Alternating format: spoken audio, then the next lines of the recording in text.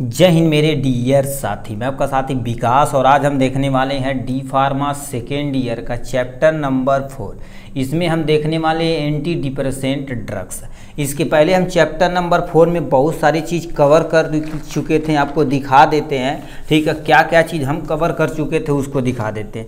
Chapter number four में देखा जाए, ठीक है तो हम general anaesthetic hypnotics sedative anti convulsant anti anxiety anti depressant पे हम पहुँच चुके हैं। इसके पहले यदि आप ये सब वीडियो नहीं देखें प्लीज़ आप स्टार्टिंग से देखिएगा, ठीक है तो आपके लिए बहुत ही बेनिफिशियल होगा। ठीक तो चलिए हम स्टार्ट करेंगे आज, ठीक है? यानी आज हम स्टार्ट करने वाले हैं एंटी डिप्रेसेंट एजेंट के बारे में। ठीक है तो हमने बता दिया कि हमें सिलेबस में क्या क्या चीज़ पढ़ना है एंटी डिप्रेसेंट में। सबसे पहले इसकी डिफिनेशन देखनी पड़ेगी, उसके बाद इसका क्लासिफिकेशन उसके बाद इसका फार्माकोलॉजिकल एक्शन उसके बाद हमें देखना पड़ेगा डोज उसके बाद इंडिकेशन उसके बाद आपको देखना पड़ेगा कंट्रा इंडिकेशन के बारे में आपको देखना पड़ेगा एकदम ईजी तरीके से। ठीक है तो इतना चीज़ देखने के बाद आपका क्या हो जाएगा, जो एंटी डिप्रेसेंट ड्रग्स है, फार्माकोलॉजी में, वो आपका क्या हो जाएगा, ये पोर्सन इंडिंग हो जाएगी। जो नेक्स्ट वीडियो आएगा, इसके बाद वाला एंटी साइकोटिक उसको देखेंगे। ठीक तो चलिए स्टार्ट करते हैं आपका एंटी डिप्रेसेंट एजेंट के बारे में। ठीक? ठीक तो आपके सामने ये रहा एंटी डिप्रेसेंट ड्रग्स के बारे में। तो डिफिनेशन समझते हैं, सबसे पहले उसके बाद सब कुछ आगे देखते हैं। ठीक तो डिप्रेशन देखा जाए तो एंटी डिप्रेसेंट मतलब ऐसी दवा जो डिप्रेशन में प्रयोग की जाती है, उसी को एंटी डिप्रेसेंट ड्रग्स बोलते हैं। अब डिप्रेशन क्या होता? है जैसे मान लेते हैं आप डिप्रेशन कब होंगे? जब आपका नंबर ब्लैक लिस्ट में पड़ जाएगा। मान लेते आप महँगा रिचार्ज रिचार्ज करवा दिए तो दिक्कत है भैया। ठीक है? या मान लेते आप एग्ज़ाम का डिप्रेशन में कोई नहीं जाता। एग्ज़ाम में आजकल कोई नहीं जाता। तुम कोई भी एग्ज़ाम देख लो, डिप्रेशन में कोई नहीं जाता भाई। ठीक है? तो एंटी डिप्रेशन डिप्रेशन में क्या होता? है ऐसी दवा जो डिप्रेशन के अगेंस्ट प्रयोग की जाती है, उसी को एंटी डिप्रेसेंट बोलते हैं। लिखा क्या हो गया? दो drugs which are use to treatment of depression मतलब ऐसी दवा जो डिप्रेशन को ट्रीटमेंट करने के लिए प्रयोग की जाती है, उसी को हम क्या बोलते हैं? एंटी डिप्रेसेंट ड्रग्स बोला जाता है। इतना हो गया इनके बारे में। फिर तुम्हारे पास लिख देखते हैं depression is the one of the depression is the of the following two type मतलब डिप्रेशन देखा जाए टू टाइप होता है। सबसे पहले लिख रखा तुम्हारे पास हो गया बाई पोलर डी यानी डिप्रेशन होता सॉरी यूनिपोलर डिप्रेशन होता है, एक बाई पोलर डिप्रेशन होता है। दो तरह का डिप्रेशन होता है। और यूनिपोलर डिप्रेशन क्या होता है? इस तरह में तुम्हारे पास क्या होता है? In this type of depression in mood swimming are always in the same direction मतलब क्या होता है? ये एक ही डायरेक्शन में होता तो उसे हम क्या बोलते हैं? यूनिपोलर डायरेक्शन बोलते हैं।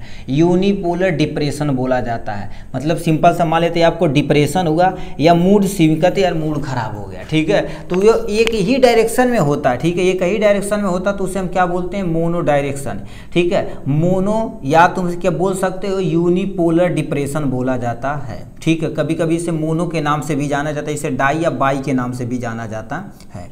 अब बाईपोलर डिप्रेशन क्या होता? है in this type of depression altered with the mania. मतलब क्या होता है? किसी मेनिया के द्वारा क्या कर जाती है? आपका दिमाग डिप्रेशन में चला जाता है। अल्टर हो जाता है, आपका माइंड ही क्या हो जाएगा? अल्टर हो जाएगा। तो उस कंडीशन में दी जाती है। Mania is exact the opposite of excessive ठीक है? इंथ्रोसियम एंड सेल्फ कॉन्फिडेंस मतलब इनसे सिंपल सा क्या करेंगे? जो आपके, जैसे सेल्फ हर पर्सन का सेल्फ कॉन्फिडेंस होता है। कि मतलब सेल्फ कॉन्फिडेंस हम एग्ज़ाम इजीली क्रैक कर देंगे। या सेल्फ कॉन यानी कॉन्फिडेंस है कि हम इजीली इसे उठा के पटक देंगे। होता है कि नहीं? तो आप क्या करेंगे? सेल्फ जो, यानी कॉन्फिडेंस है, उसे ही क्या कर देंगे? आप खो देंगे, ठीक है? उसी को खो देंगे तो उसी को क्या बोला जाता है? बाई पोलर डिप्रेशन मतलब दोनों डायरेक्शन में जाता है, ठीक है? इसमें दो डायरेक्शन में आपका मूड अल्टर्ड हो जाता है। तो उसे हम क्या बोलते हैं? बाईपोलर ठीक? है बाईपोलर डिप्रेशन बोला जाता है। ठीक? तो इनके डिफिनेशन ये नहीं लिखेंगे तब भी कोई टेंशन नहीं, मगर ये डिफिनेशन ज़रूर लिखिएगा।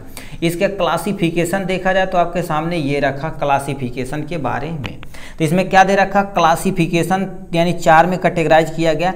यस यस आर आई ठीक है, इसका फुल नेम क्या होता? है selective serotonin reuptake inhibitor please आप नोट डाउन फुल नेम कर लीजिएगा। इसे हम बोलते हैं कि देखते आपको लिख के दिखा देते हैं, ठीक है? आपने कहीं कि ये मान लेते फुल नेम पूछ दिया जाए तो आप क्या करेंगे? ठीक है तो ऐसे छोटी छोटी चीज़ें आप सीखते चलिए, ठीक है? अब देखिए, यहाँ से देखा जाए तो यस यस, आर, आई ले लेते हैं। ये ड्रग्स होती है, ठीक है? ये ड्रग्स के अंतर्गत ये ऐसे ऐसे शॉर्ट नेम में ऐसे टी स्कूल स्कूल में ऐसे शॉर्ट नेम में लिखवाया जाता है, ठीक है? इसमें ये सब ड्रग्स आती है। इसका फुल नेम क्या होता है? यस से तुम्हारे पास क्या हो जाता है? सिलेक्टिव होता है। क्या होता है? आपके सामने सिलेक्टिव दूसरे यर से क्या हो जाता है? एक सेरोटोनिन होता है। क्या होता है? सेरे सेरोटोनिन होता है, ठीक है? यहाँ से क्या हो जाएगा? सेरोटोनिन आर से क्या हो जाएगा? री अपटेक होता है, ठीक है? यहाँ से क्या हो जाएगा?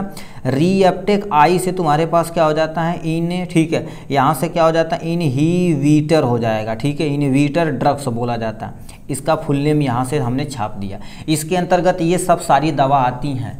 ठीक है? तो पहले आप सुनते चलिए, ठीक है? नाम केवल। यस यस, आर, आई होता। है इसे हम क्या बोलते हैं? सेलेक्टिव सेरेटोनिन रीअपटेक इनिबिटर इसमें ये दवा का नाम आता।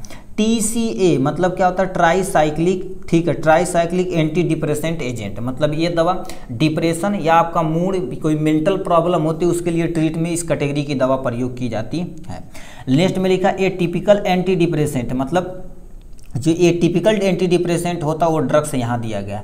यम ए ओ यम से क्या होता है? मोनोएमीन मोनोएमीन ऑक्सीडेज इनहिबिटर होता है। इसमें मोनोएमीन ऑक्सीडेज और इनहिबिटर यहाँ से दिया गया। इनहिबिटर दे रखा है यहाँ से। इसमें कैटेगरी की दवा ये होती है। ठीक है? तो ये हो जाएगा। अब टी दोबारा बोल दे रहे हैं tricyclic antidepressant tricyclic antidepressant होता है। यानी इसमें एग्ज़ाम्पल देखा जाए तो क्या हो जाता है? फ्लूएक्जेक्टीन आता फ्लूएक्जेक्टीन आता इसका एग्ज़ाम्पल हो जाएगा। फ्लोवेजामीन आता इसका एग्ज़ाम्पल यहाँ हो जाएगा। पैराजेटीन हो जाएगा, इसका एग्ज़ाम्पल यहाँ से हो जाएगा। और क्या होगा? सीटालाप्रोम सीटाप्रोम ये तुम्हारे पास इसका एग्ज़ाम्पल यहाँ से हो जाने वाला है। ठीक? तो ये सब आपके पास के सामने क्या होगा? एग्ज़ाम्पल दे दिया गया है। ठीक है। नेक्स्ट में देख लेते हैं टीसीए में इसका एग्ज़ाम्पल क्या हो जाता है? डॉक्जीपीन आ जाता है। डॉक्जीपीन इसका एग्ज़ाम्पल आ जाता है। दूसरा देखा जाए तो दो, लिखा दो पिनी पीन हो जाता है। दो थी इपीन आ जाता है। और नेक्स्ट में देखा जाए तो क्लोपी, ठीक है क्लोमी, प्रामीन आ जाता है। इसका एग्ज़ाम्पल हो जाएगा यहाँ से। एंटी ठीक है, यहाँ पर लिखा ए टिपिकल एंटी डिप्रेसेंट में क्या हो जाएगा? ट्राजा चलिए ट्राजोडोन आ जाता है। और क्या हो जाता है? मिट्राजेपीन आ जाता है। इसका एग्ज़ाम्पल हो जाएगा। और क्या होगा? बिप्रोपापियोम यहाँ पर एग्ज़ाम्पल हो जाएगा इसके बारे में।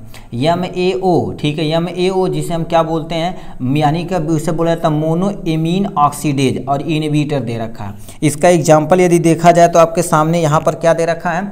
ली रखा है फेनाइलिजीन आ जाता है और ट्रागर ट्राइनीला ट्राइना साइप्लो, ठीक है, साइप्रोमीन आ जाता है। इसमें क्या आ जाता है? आइसो कार्बा ठीक है, कार्बोजाम जाइड आ जाता है। इसका एग्ज़ाम्पल इसका आप प्लीज़ इतना बड़ा बड़ा एग्ज़ाम्पल यदि नहीं याद पाते थे, किसी तरह से ट्रिक लगा के आप क्या करिए, ठीक है, एक और दो दो एग्ज़ाम्पल याद रखिए एग्ज़ाम के पॉइंट ऑफ़ व्यू से। ठीक है यदि मान लेते क्लासिफिकेशन आएगा तो आपको यहाँ पर क्या करना पड़ेगा, एक एक एग्ज़ाम्पल प्लीज़ आपको नोट डाउन करना पड़ेगा एग्ज़ाम में। ठीक है? तो ये हो गया क्लासिफिकेशन अब फार्माकोलॉजिकल एक्शन यहाँ दे रखा है, इसके बारे में थोड़ा सा देख लेते हैं. फार्माकोलॉजिकल एक्शन मतलब क्या होता है? वो दवा किस पोजीशन पे जाके बाइंड करेगी और अपने एक्शन को परफॉर्म करेगी. ठीक? तो इसमें दे रखा है टीसीए जो तुम्हारे पास होती है टीसीए देखो, यहाँ पर ट्राईसाइक्लिक एंटी डिप्रेसेंट दे रखा ये सी मतलब सेंट्रल नर्वस सिस्टम पर कैसे जाके इफ़ेक्ट करती है? ये क्या होता है? Differ in normal individual in the depressed. ये क्या हो जाती है? उसे डिप्रेस कर देती है। और इंड्यूज को क्या कर देती है? ठीक है, लिखा है एपिकुलर, ठीक है। और क्लेस्पी और फीलिंग जो तुम्हारे पास टाइटनेस मतलब आपको ये क्वेश्चन होगा तो थका थका महसूस होगा। उस कंडीशन में ये दी जाती है।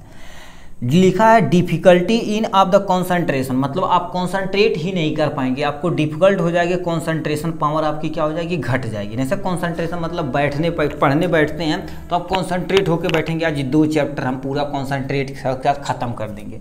वही आपकी क्या हो जाती है? भंग हो जाती है कॉन्सेंट्रेशन ठीक है? A N S A C N A C N effect में क्या होता है? Most T C A are potent anti cholinergic causes the तुम्हारे पास क्या होगा? ड्राई माउथ इस कंडीशन में तुम्हारा मुँह क्या हो जाएगा? सूखा सूखा, जैसे मानते कहीं भयानक मार हो गई, या कोई चीज़ आप खतरनाक चीज़ देख ली मुँह सूख जाता है, अरे भगवान, बड़ी भयानक बहु। ठीक है तो उस कंडीशन में भी क्या होता है? ये यानी ये सब एक्शन परफॉर्म करते हैं। मतलब ये सब सूखे तो समझ लो डिप्रेशन में यही काजेज होता है। बलरिंग विजन मतलब तुम्हें आगे क्या करेगा? धुधलापन दिखाई देगा। ठीक है, यदि बहुत ज़्यादा क्या कर देते हैं, आप शौक हो जाते हैं। ठीक है डिप्रेशन में चल जाते हैं तो आपको वलर विजन दिखाई देगा। कॉन्स्टिट्यूशन मतलब क्या होता है? इस कंडीशन में तुम्हारे पास क्या होगी, पेट में कब्ज बन जाएगी। जो भी फ़ूड का डाइजेशन प्रॉपर होना चाहिए, आप डिप्रेस हो रहे हैं तो आपका फ़ूड का डाइजेशन प्रॉपर नहीं होगा। तो उसमें भी आपको दिक्कतें हो सकती हैं। फिर तुम्हारे पास लिख रखा है कार्डियोवास्कुलर सिस्टम पे क्या इफ़ेक्ट पड़ेगा? कार्डियोवास्कुलर फ़ंक्शन तुम्हारे पास क्या हो जाएगी? प्रोमिनेंट हो जाएगी। इसमें भी दिक्कतें आ सकती हैं। और तुम्हारे पास लिखा है डेंजर्स इन ओवरडोज मतलब ये मान लेते हैं एंटी डिप्रेसेंट में जो भी आप ड्रग्स ले रहे हैं ओवरडोज ले रहे हैं तो आपके शरीर के लिए क्या होता है, वो डेंजरस, खतरनाक चीज़ें हो सकती हैं। ट्रैकिकार्डिया भी क्या कर सकती है, डिज़ीज़ काजेज कर सकती है। तो इतने चीज़ें क्या हो जाए इतना एक्शन दे रखा है इसके फार्माकोलॉजिकल एक्शन के बारे में। मतलब इन इन चीज़ों पे क्या हो सकती इफ़ेक्ट हो सकती है। नेक्स्ट में देख लिया जाए, ठीक है? नेक्स्ट में तुम्हारे पास क्या दे रखा? डोज के बारे में दे रखा, ठीक है? यहाँ से क्या दे रखा? डोज के बारे में। डोज में यहाँ पर देखिए, डोज आपको दवा लिखनी है, दवा का एमजी लिखनी है, आपको एग्जैक्ट ये नहीं याद रहेगा तो कोई टेंशन नहीं। ओ डी या मान लेते वो भी तुम्हें याद नहीं रहता तो लिख देंगे एज पर रिक्वायरमेंट फिजिशियन जो प्रिस्क्राइब करेंगे उसके द्वारा। क्योंकि हर एक ड्रग्स पर लिखा होता है फिजिशियन प्रिस्क्राइब करेगा उसके बारे में। जैसे आपको दिखा देते हैं, कोई भी ड्रग्स है यहाँ पर देखिए। अब यहाँ से देखिए डोजेज के बारे में लिखा होगा। ध्यान से देखिएगा, देखिए डोजेज के बारे में लिखा लिखा as directed by the physician ऐसे लिखा है कि नहीं? तो उस तरह से क्या हो सकते हैं? आप दे सकते हैं। ठीक है? तो इसमें पहला एग्ज़ाम्पल आपके सामने यहाँ से दे रखा किसका? लिख रखा एमीप्रामीन एमीप्रामीन जो 25 एमजी के आता है, जो टीडीए दे जाता है, तीन टाइम दिन में तीन टाइम दे जाता है। ठीक है? लिखा है रोबो ठीक है रेबो जेक्टीन आ जाता है, जो पच्चीस एम टैबलेट या पचहत्तर एम का टैबलेट भी आता है। ये ओडी और बीडी दोनों चला सकते हैं। सेर लिखा है सेरटा ठीक है सेरटा री लीन आ जाता है जो 50 से लेकर 100 एमजी के बीच में आता है जो बीडी होता। है ठीक है, मैक्लो बी, ठीक है, मैक्लो बी माइड हो जाएगा, जो कितने होगा, डेढ़ सौ एम से लेकर बीडी तथा टीडीएस के रूप में चलाया जाता है। ठीक है टीया नेपटीन आ जाता है, जो तुम्हारे पास जो है, कितना 12.5 पॉइंट होता है जो बीडी होता है और टीडीएस के फॉर्म में चलाया जाता। है तो इतनी चीज़ें हो गई इनके बारे में। ठीक? तो ये हो गया इनके बारे में। अब हम देख लेते हैं इंडिकेशन मतलब कहाँ पर, कहाँ प्रयोग किया जा सकता मतलब ये जो एंटी डिप्रेशन ड्रग्स है, ये कहाँ कहाँ आप प्रयोग कर सकते हैं? सबसे पहले एंडोजेनिक डिप्रेशन मतलब आपको डिप्रेशन हुआ तो सब यूज़ कर सकते हैं। एंजाइटी डिसऑर्डर मतलब किसी पर्सन को बहुत ज़्यादा चिंता है तो इस कैटेगरी की दवा आप प्रयोग कर सकते हैं। उसके लिए एंटी एंजाइटी भी ड्रग्स आती, मान लेते नहीं रहता तो आप एंटी डिप्रेसेंट की कैटेगरी की दवा उसके अनुसार चला सकते हैं। न्यूरोपैथिक पेन होता मतलब आपके न्यूरोपैथिक मतलब नर्व इम्पल्स में कोई आपको क्या दिक्कतें रहती तो उसके कंडीशन में भी सही कर ये पेन को ट्रीट करने के लिए यूज़ कर सकते हैं। प्री मेच्योर एजुकेशन मतलब क्या होता है? प्री मेच्योर एजुकेशन एजुकेशन मतलब क्या होता है? At the time of sexual reproduction आपका जो वीर है मतलब इस पर वो क्या हो जाता है? एजुकुलेट हो जाता है. बाहर निकल जाता है मेच्योरेशन से पहले. क्योंकि मेच्योर रहेगा, तभी जा कोई एग को फर्टिलाइज कर पाएगा. उसके पहले भी हो जाता है, जिसे नाइट फॉल्ट वगैरह बोलते हैं. ठीक है तो उस कंडीशन में भी क्या होता है? एंटी डिप्रेसेंट का ड्रग्स यूज़ कर सकते हैं. स्मोकिंग सेगेशन मान लिया लंबे समय तक क्या कर सकते स्मोकिंग कर रहे हैं, उसे लत को हटाने के लिए हम एंटी डिप्रेसेंट का ड्रग्स प्रयोग कर सकते हैं। माइग्रेन का भी क्या कर सकते हैं? किसी पर्सन को माइग्रेन हुआ है तो उस कंडीशन में भी प्रयोग कर सकते हैं आप इजली ठीक है? और लिखा है प्रोटीटस प्रोटीटस में भी आप क्या कर सकते हैं? प्रयोग कर सकते हैं। तो इतने चीज़ें क्या होगा यहाँ से एग्ज़ाम्पल के दौर पे होगा मतलब इन इन कंडीशन में आप एंटी डिप्रेसेंट ड्रग्स का प्रयोग कर सकते हैं। ठीक नेक्स्ट लिख, लिख लिखा है तुम्हारे पास क्या होगा? कंट्रा इंडिकेशन निषेध। यहाँ पर तो आपको भाई प्रयोग करना ही नहीं है। कोई पर्सन ज़्यादा हाइपर सेंसिटिव है किसी ड्रग्स के प्रति तो उसे एंटी डिप्रेशेंट नहीं देंगे। हमारे तो भलवे से डिप्रेशन में तो दूसरी कैटेगरी की दवा उसे हम ट्रीट करेंगे। प्रेगनेंसी में तो आप एंटी डिप्रेसेंट देंगे नहीं लैक्टेशन पीरियड में तो आपको देना ही देना नहीं है। ग्लाइकोमा ग्लाइकोमा एक आई डिज़ीज़ होती है, उस कंडीशन में भी आपको नहीं देना है। अस्थमा, मान लेते कोई अस्थमा का पेशेंट है, सांस लेने में भी प्रॉब्लम है, मान लेते एंटी डिप्रेसेंट दे दिए दवा, और मरमर आ जाएगा, दिक्कत हो जाएगी तो उस कंडीशन में भी आप नहीं दे सकते हैं। लीवर या तथा किडनी डिज़ीज़ में मतलब किसी पर्सन को लीवर प्रॉब्लम है या किडनी प्रॉब्लम है, उस कंडीशन में भी आप इजीली नहीं दे सकते। ठीक है? तो ये सब जारी सारी चीज़ जितनी होती है, सब कंडीशन देखते हैं। डॉक्टर उसी के अकॉर्डिंग वो अपना ड्रग्स का प्रिस्क्राइब करते हैं और उनका ट्रीटमेंट करते हैं। ठीक है? तो इतनी चीज़ें हो गई आपके पास ड्रग्स के बारे में। ठीक, चलिए आज के लिए बस इतना ही। फिर मिलेंगे नेक्स्ट वीडियो में नेक्स्ट टॉपिक के साथ। तब तक के लिए bye bye and take care